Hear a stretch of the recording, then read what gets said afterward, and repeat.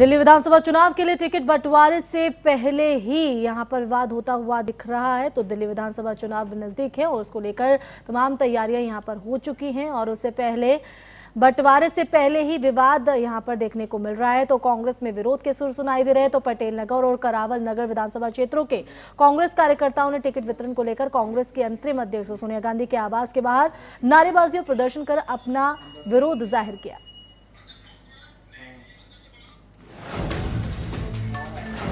राष्ट्रीय स्वयंसेवक संघ मोहन, प्रमुख मोहन भागवत उत्तर प्रदेश के मुरादाबाद में है। मोहन भागवत ने एक बार फिर हिंदू राष्ट्र की बात दोहराई है। संघ प्रमुख ने एक कार्यक्रम के दौरान कहा कि संघ का मानना है कि देश हिंदुओं का है। उन्होंने कहा कि यहाँ जितने लोग हैं, उन सबके पूर्वज हिंदू थे और उनकी मातृभूमि भारत है, दूसरी नहीं।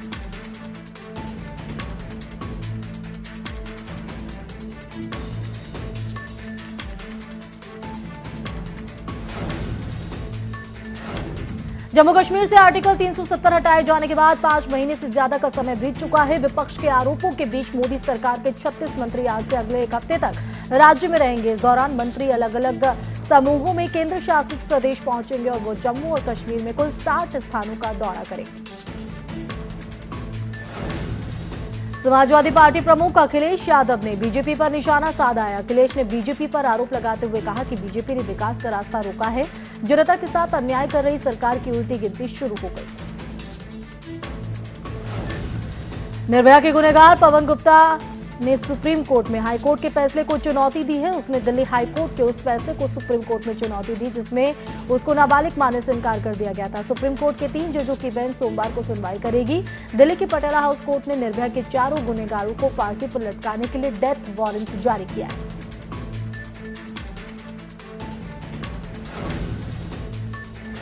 देश की जानी मानी वकील इंदिरा जयसिंह ने निर्भया की माँ आशा देवी से दोषियों को माफ़ करने की अपील की है। इंदिरा जयसिंह ने कहा है कि वो आशा देवी के दर्द और वेदना को समझती हैं, लेकिन मृत्युदंड के खिलाफ है।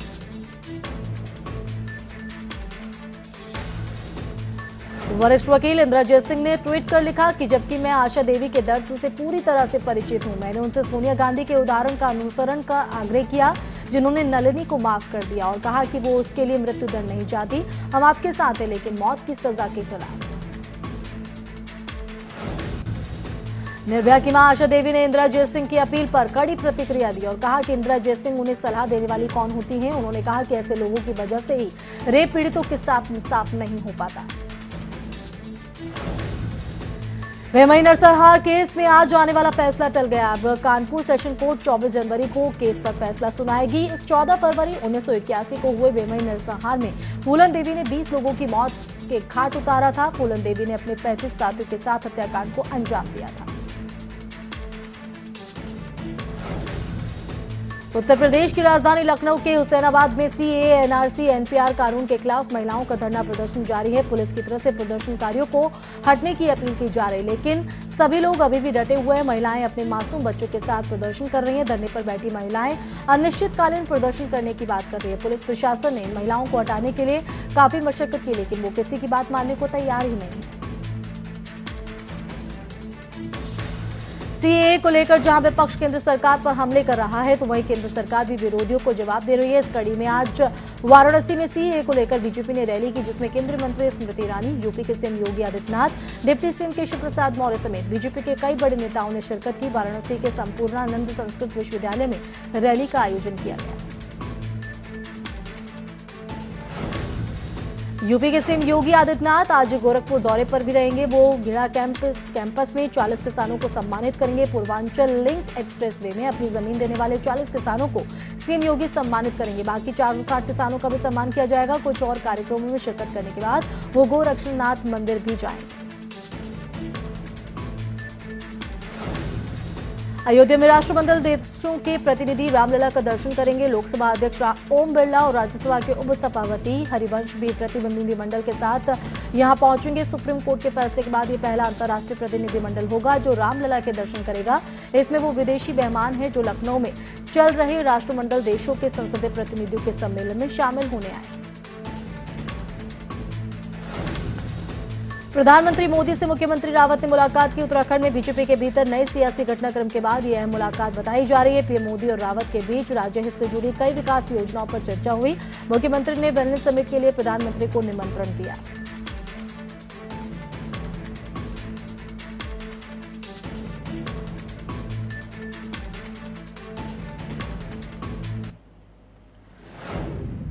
उत्तराखंड के मुख्यमंत्री त्रिवेंद्र सिंह रावत कल देहरादून में सीए के समर्थन में महारैली करेंगे। सीए को लेकर बीजेपी देहरादून के डोईवाला में एक बड़ी रैली आयोजित कर रही है। इसमें सीएम त्रिवेंद्र सिंह रावत के साथ बीजेपी के तमाम बड़े नेता शिरकत करेंगे। बीजेपी नेताओं का कहना है कि नागरिकता संशोधन कानून किसी की नागरिकता लेने का नहीं, बल्कि देने का काम करेगा। उत्तर प्रदेश की योगी सरकार ने 10 आईपीएस अधिकारियों का तबादला किया। इस कड़ी में डी प्रदीप कुमार झांसी के एसएसपी बनाए गए हैं। तो वहीं सुभाष चंद्र दुबे को डीआईजी आजमगढ़ रेंज के पद पर भेजा गया है। मोदक राजेश दिनेश राव को गोरखपुर रेंज का डीआईजी बनाया गया है। रामपुर से सपा सांसद और अपने बयानों के लिए विवादों में रहने वाले आज़म खान की मुश्किलें कम होने का नाम नहीं ले रही हैं। आचार संहिता के उल्लंघन के मामले में उनके खिलाफ गैर जमानती वारंट जारी हुआ है और आज उन्हें कोर्ट में पेश होने का आदेश दिया गया है। आरोप है कि रोड शो के दौरान उन्होंने सेना पर विवादित टिप्पणी की थी। लोहेवाला तहसील में कांग्रेस कार्यकर्ता एकजुट होकर केंद्र सरकार के खिलाफ नारेबाजी की और सीए के विरोध में रैली निकाली। कांग्रेस ने सरकार पर आरोप लगाते हुए कहा कि सरकार डोईवाला के साथ साथ पूरे उत्तराखंड की जनता के साथ छलावा कर रही है। प्रदेश की जनता और किसान मूलभूत सुविधाओं से जूझ रहे हैं और सरकार सीए पर जनता का ध्यान भटकाने में लगी। रुद्रपुर के वार्ड 21 के पार्षद अमित मिश्रा अपने घर से दुकान का किराया वसूलने के लिए निकले थे। देर रात तक वो घर नहीं लौटे। कांग्रेस पार्षद की माँ ने कोतवाली में शिकायत दर्ज करवाई। उन्होंने बताया कि उनके बेटे का देर शाम को फ़ोन आया और उसने मोबाइल स्विच ऑफ़ होने की बात कही। इसके बाद ना तो बेटा घर आया, ना उसका फ़ोन मिला। उन्होंने बताया कि देर रात उन्हें फ़ोन आया। फ़ोन पर कहा गया कि उनके बेटे का अपहरण कर लिया गया। अपहरणकर्ताओं ने उनसे बीस लाख रुपए की फरौती की मांग की। कानपुर में खौफनाक वारदात सामने आई है। 2018 में छेड़छाड़ के मामले में पीड़ित युवती के परिजनों पर जानलेवा हमला हुआ है। आरोपी ने युवती की माँ की हत्या कर दी है। जो कि केस के मुख्य गवाह। थी दबंगों ने घर में घुसकर हमला किया और वारदात को अंजाम दिया। वहीं एनकाउंटर के बाद दो आरोपी परवेज और मोहम्मद आबिद को गिरफ़्तार कर लिया गया। नोएडा में हुए गौरव चंदेल हत्याकांड के कातिलों की तलाश में पुलिस की टीमों ने अलीगढ़ में डेरा डाल लिया है। लूट और हत्या करने वाले तीन से चार और गैंग भी पुलिस और एसटीएफ के रडार पर पहुँच गए।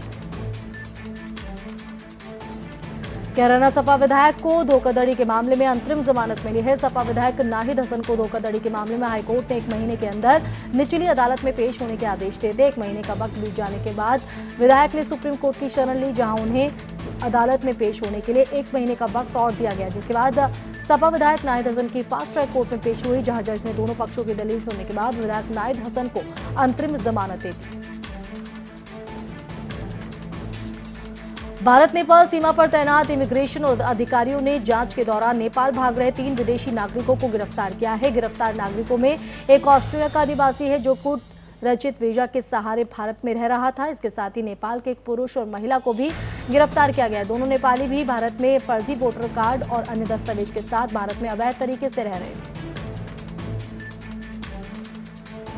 रेप की घटनाओं की सिलसिला थमने का नाम नहीं ले रहा है। खबर मथुरा से है, जहाँ एक किशोरी के साथ गैंगरेप की घटना सामने आई। बताया जा रहा है कि किशोरी अपनी दादी के साथ खत में चारा लेने गई थी। तभी किशोरी को अगवा कर गैंगरेप किया गया। परिजनों ने तलाश शुरू की तो किशोरी बेहोशी हालत में जंगल में मिली। पीड़िता के परिजन की तहरीर पर पुलिस ने एक नामजद और दो अज्ञात लोगों के खिलाफ गैंगरेप का मामला दर्ज कर लिया है।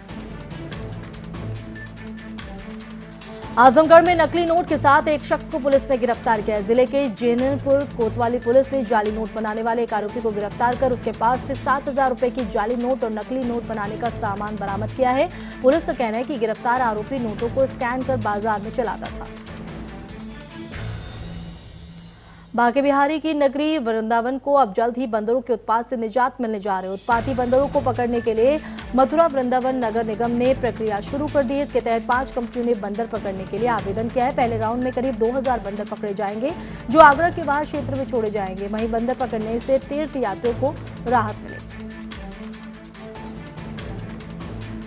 डोईवाला के कालूवाला गाँव में हाथियों के झुंड ने उत्पात मचा रखा है। हाथी आए दिन किसानों की फ़सलें बर्बाद कर लेते हैं, जिससे किसान परेशान हैं। फ़सलें बर्बाद होने की वजह कुछ किसानों ने खेती करना भी छोड़ दिया है। किसानों की सरकार से मांगे कि उन्हें बर्बाद हुई फ़सलों का मुआवजा दिया जाए और वन विभाग फेंसिंग लाइन और चारों तरफ़ खाई खोदकर उनकी जानमाल की सुरक्षा के बंदोबस्त करे।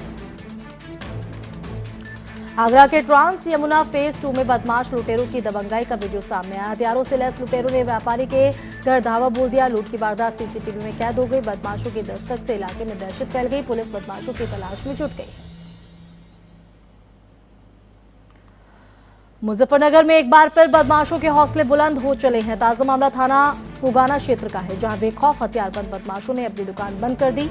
वापस गाँव लौट रहे एक सीमेंट व्यापारी को गोलियों से भूनकर मौत के घाट उतारा गया। घटना के बाद गुस्साए ग्रामीणों ने पुराना कांदला मार्ग पर जाम लगा दिया। ग्रेटर नोएडा में ईस्टर्न पेरिफेरल हाईवे पर दारोगा की दमंगाई सामने आई है।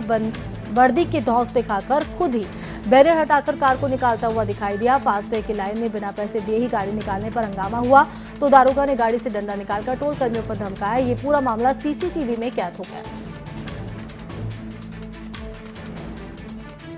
कानपुर देहात के अकबरपुर कोतवाली की जैनपुर पुलिस चौकी में सिपाही को सरकारी राइफल से गोली लग गई। राइफल साफ़ करते वक्त सिपाही को गोली लग गई, जिसके बाद सिपाही को गंभीर हालत में कानपुर के हाइलट अस्पताल ले जाया गया, जहाँ उसका इलाज चल रहा है। 2018 बैच का सिपाही आगरा का निवासी है, जिसकी उनतीस जनवरी को शादी होनी थी। सिपाही की गोली लगने की सूचना पर आनंद फान में घायल सिपाही को पहले अस्पताल ले गए, फिर उसकी हालत बिगड़ने पर हैलट अस्पताल रेफर किया गया, जहाँ उसकी हालत नाजुक बनी। हुई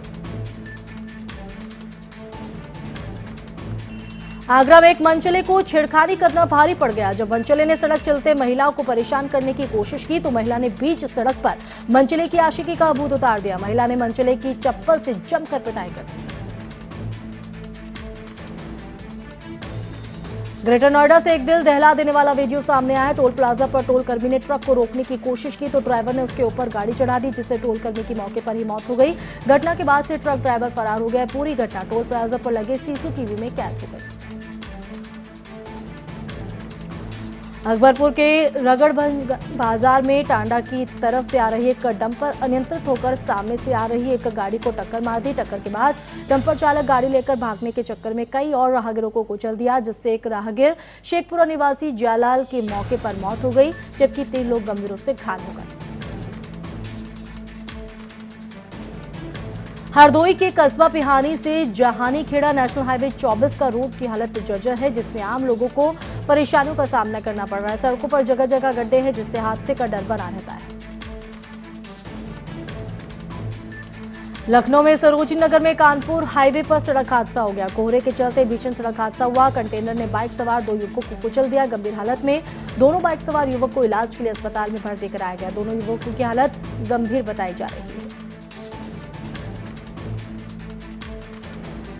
कन्नौज में जंगल से रास्ता भटक कर एक हिरण घायल अवस्था में भागता नज़र आया हिरण के पीछे कुछ जंगली कुत्ते पड़े हुए थे। हिरण के पीछे जंगली कुत्तों को भागता देख ग्रामीणों ने जंगली कुत्तों के झुंड को लाठी डंडों की मदद से भगाया। वहीं जंगली कुत्तों से बचने के लिए भाग रहा। फिर एक पानी टंकी में जा गिरा। ग्रामीणों ने टंकी से हिरण को बाहर निकाला और इसका इलाज किया। राज्य मंत्री रेखा आर्य की बयानबाजी से आंगनबाड़ी वर्कर्स में भारी गुस्सा है। आंगनबाड़ी वर्कर्स ने राज्य मंत्री के खिलाफ पिथौरागढ़ में जोरदार प्रदर्शन किया। प्रदर्शनकारियों का कहना है कि राज्य मंत्री रेखा आर्य ने आंगनबाड़ी वर्कर्स को लेकर जो बयान दिया, वो बेहद शर्मनाक है।